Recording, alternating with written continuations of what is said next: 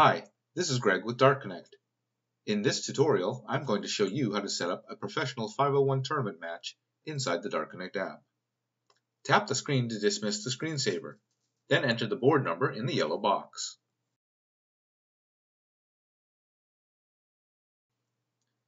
Pick the correct players from the match listing, and then confirm that you have made the right selection.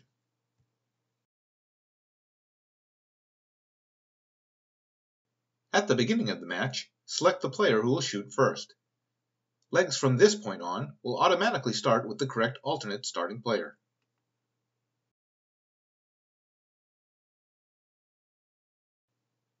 Enter each player's score with the numeric keypad, and then tap Enter.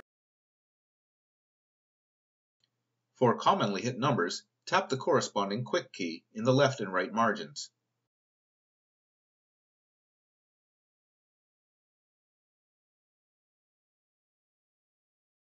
Notice that the 0 key is also the 180 quick key.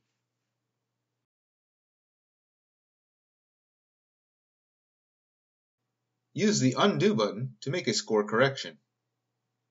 If you've already hit Enter, use the Back button to go back and correct the previous score. If you require a correction to an earlier turn, tap any number to edit any previous score.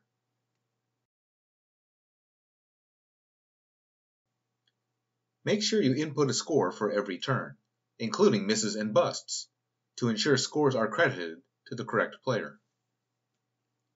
When the winning double is hit, enter the final score and confirm that the correct player has been selected. Then select the red flight that corresponds to the game-winning dart that hit the double. If the wrong player was selected, tap the Change button to correct. You can also use the gray shortcut flight that matches the winning dart instead of entering the final score.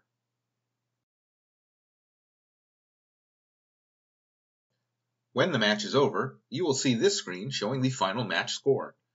Tap Save Match to officially end the current match. Then tap New Match to return to the match listings. Select the next match to play, or tap Check for more matches to get an updated match list.